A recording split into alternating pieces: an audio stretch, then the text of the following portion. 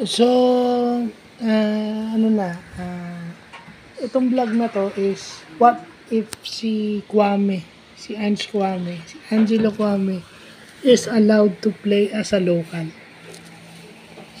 Anong madadala nun sa national team ng Pilipinas kapag ka si Kwame is a local player and not naturalized? Well, unang-una, yung apat na big man, okay na yun. Plus, si Kwame as local, you know, kung may kombinasyon ka na eh, may kombinasyon ka na if Kwame is a local. May kombinasyon ka na nun. Defensively. Because Kwame can switch. Di ba? If Japet switches, ang kukuha nung iiwanan ni Japet, si Kwame, pwede silang sabay. Nakita nyo naman yung pwedeng mangyari pag magkasabay si Edu tsaka si Soto. Ganon din yung effect pag magkasabay si Kwame, ah, si Kwame tsaka si Japet. Parehong shot blocker yun.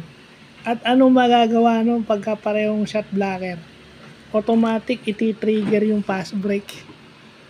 Magdadalawang isip yung kalaban kasi parehong shot blocker itong si Japet at saka si Kwame. Pass break agad yun. And Kwame can run the floor. Pag umisprint yan, bigyan mo lang ng bola, dunk na yan.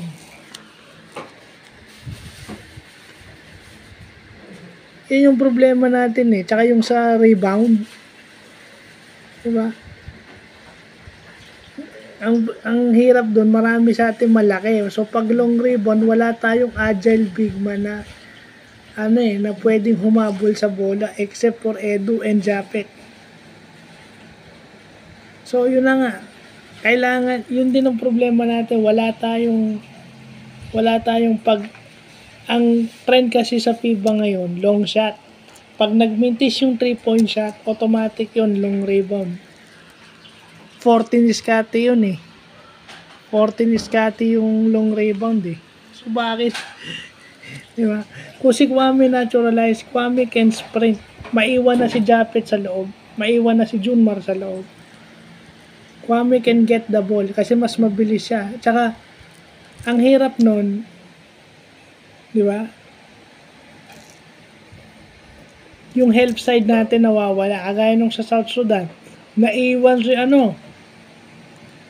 Kasi ang ginagawa nung kalaban, titignan ni Edo yung kakampi niya, he-help yun eh. He-help yun. So yung nag yung tao ni Kwame, yun ang magse-set ng pick dun sa sa naturalized ng South Sudan. So ano mangyari? Susunod si Edo, susunod si Soto. Layup na yun. Sino yung pwedeng kumontra doon? Kwame. Kasi pwedeng maiwan si Kwame. Kwame can jump to block that shot. Nang walang foul ha, kasi kadalasan pag na-late ka, foul. Hindi, yung walang foul. If Kwame is a naturalized, ah, hindi naturalized, local player. Tsaka pwede mong bigyan nyo ng ano eh, pwede mong bigyan nyo ng inside position, yung mga seal, deep seal, o duck ins na tinatawag. Pag yung duck ins na tinatawag, naka-seal na yon hard seal. So wala nang magagawa yung post defender kasi nasa likod na siya eh. Sasalo na lang yung bola, pipihe, titira. I mean, yun yung, okay, yung mga galing na big man sa NBA at kahit sa ano, yun ang ginagawa. Yun ang ginagawa. I mean, kung magaling, kung may magaling kang post-up guard, kagaya, y- yun, pag naka-triangle offense kayo, if ever naka-implement yung triangle, kahit sino doon pwedeng pumost. Isa yun sa mga skill na, na nahahasa sa triangle ng kahit na sinong player.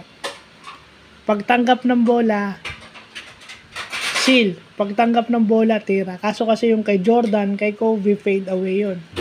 Yung iba, hook shot. Ba, jump hook, up and under, yung mga ganyang galaw. Yun, if Kwame is a naturalized player, po pwede yun. Kasi, Kwame played for Ateneo matagal-tagal, 3 years. Eh plus meron pa siyang residency ata sa Ateneo, so kulang-kulang 4 years, di ba?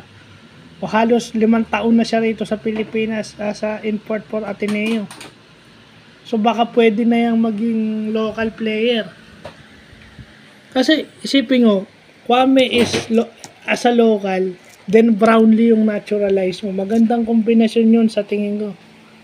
Magandang kombinasyon yung Kwame at Brownlee na magkasama sa loob.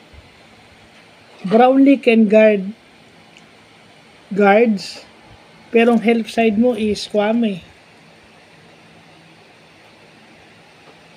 At saka sa offense, bigyan mo na lang ng love to si Kwame.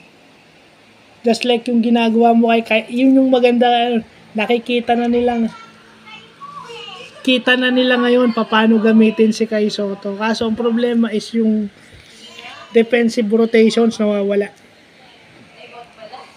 Defensive rotations nawawala.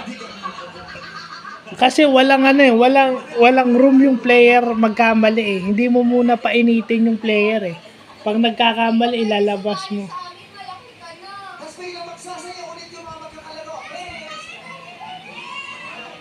At saka walang tulong ay ano eh, 'di ba? When Dwight when Dwight runs, pag tumatakbo si Dwight, wala siyang magagawa, kailangan niyang ituloy.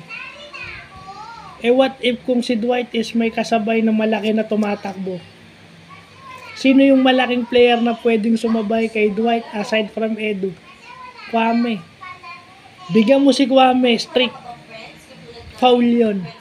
So, yun lang po.